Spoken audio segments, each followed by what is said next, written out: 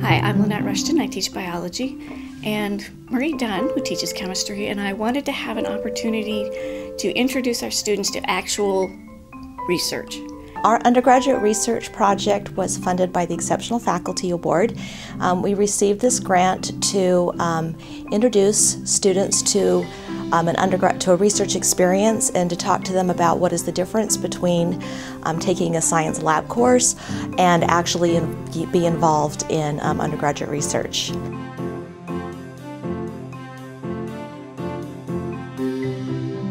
There's a LOTT of professional science people here, so we didn't want to limit our students to just the campus. We made contacts with Fish and Wildlife, uh, with fisheries, with Department of Agriculture, uh, with the lot plant. So we started out, we took our students on field trips.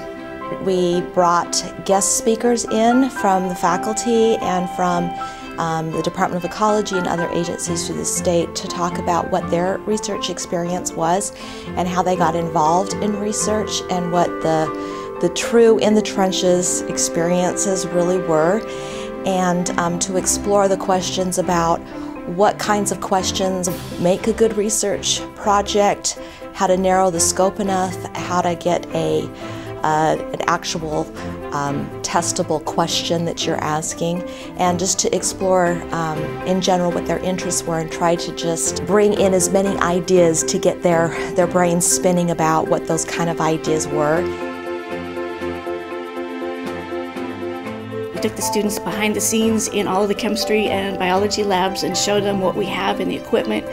And it was so exciting to see them so excited about the equipment, about what they could possibly do, and about the fact that the faculty was also excited. We've had at least three faculty members who are just delighted to help and be mentors for the students.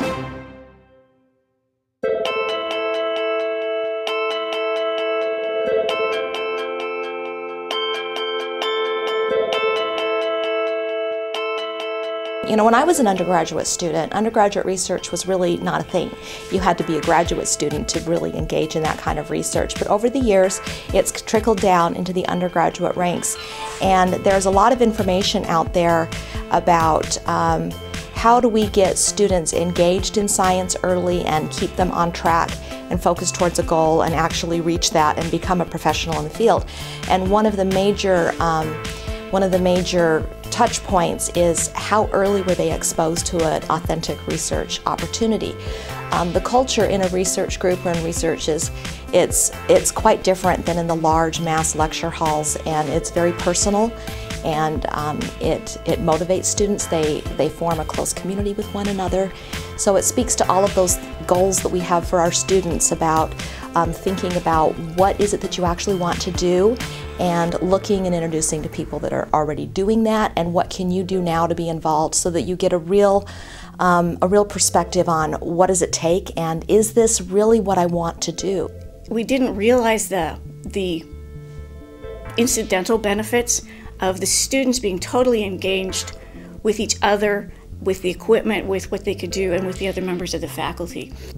A lot of um, schools and employers are actually looking for actual experience, like what can you do? What instruments have you been trained on? What have you done outside of the normal classroom?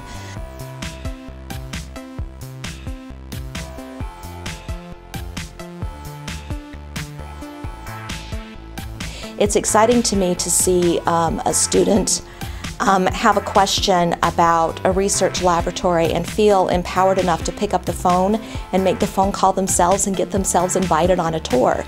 Um, that's the kind of thing that I'm hoping that our students can do to, to realize that they do have the power and they can ask the right questions and their questions are legitimate and people do want to talk to them and they are important people within this process.